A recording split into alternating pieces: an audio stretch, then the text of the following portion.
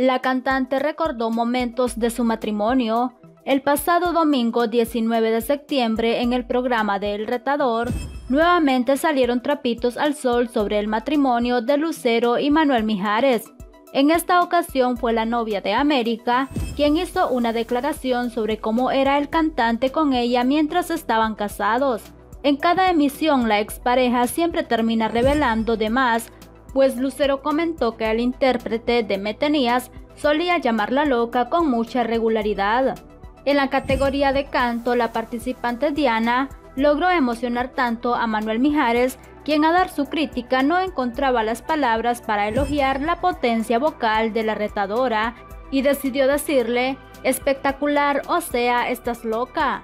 Tras este comentario, Itati Cantoral se sorprendió mucho, pues aseguró que solo a ella y a Lucero las llama locas.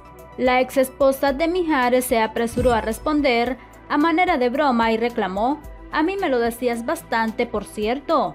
El cantante hizo caso omiso a las bromas de sus compañeras y continuó dando su crítica a la participante, que sin duda se convirtió en su favorita hasta el momento.